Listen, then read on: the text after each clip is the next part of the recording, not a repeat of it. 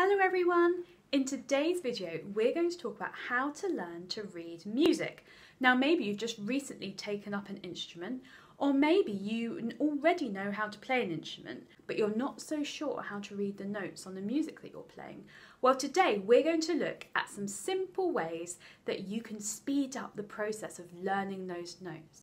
Learning to read music is a little bit like learning another language. It may seem difficult at first, but the great news is, is that the language of music translates to all different countries who have music written down as notation.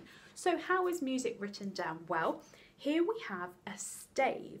So a stave is five lines, and on each of these lines and in each of the spaces, we're going to draw a little circle, and that is where the notes sit. Although all sheet music has these staves, different instruments use different clefs.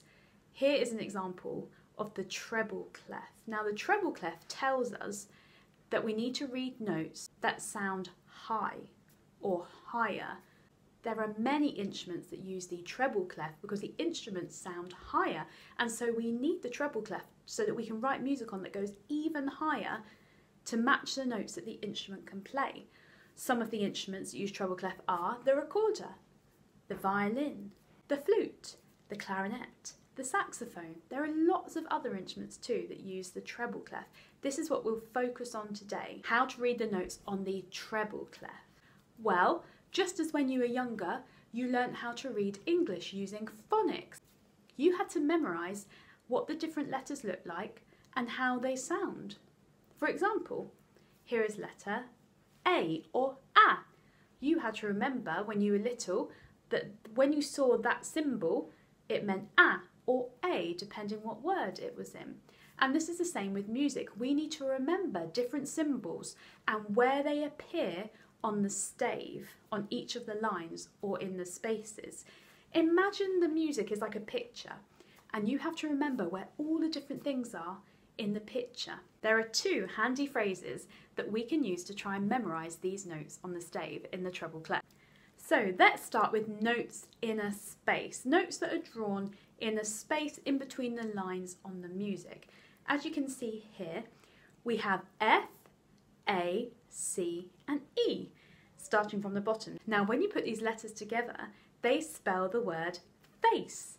So to help you remember the notes that are in the spaces, you can say face in a space because it rhymes and it's very easy to remember that face in a space, F A C E, starting from the bottom, because the lines from the bottom go one, two, three, four, five.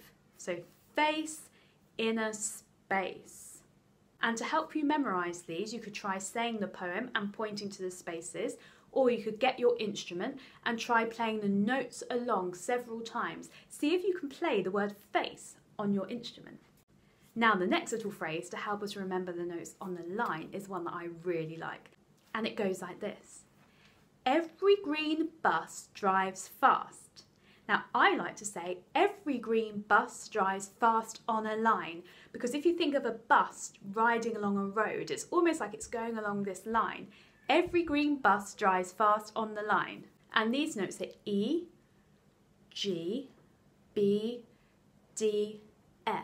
Every green bus drives fast on a line. Challenge yourself this week to try and memorise those two simple phrases. Face in a space. Every green bus drives fast on a line. Why is it important that we learn to read music and that we try and remember these little phrases and where the notes are? Well, once you learn to read music, you'll be able to play all your favourite tunes. Again, it's a bit like when you learn to read. Once you've learned all your letter sounds, you're able to read so many more books because you're able to decode what the word is. And so you're able to read so many more books because you already know what sound each letter makes. It makes it so much easier. And it's the same with music. Once you know how to read music, you'll be able to play so many different different pieces You'll also be able to play in a group with other people who can read music as well. Once you have two of your friends who can read music, you can meet up and play your instruments together and play through lots of different pieces. And you'll find that you'll progress on your instrument a lot quicker because you'll be enjoying it more because this whole new world of music is opened up to you. In our next video, we're going to be learning the little phrases for the bass clef if you play a low instrument. So watch out for that video coming in the next few days. If you have any questions, leave them in the comments box below. Happy practicing!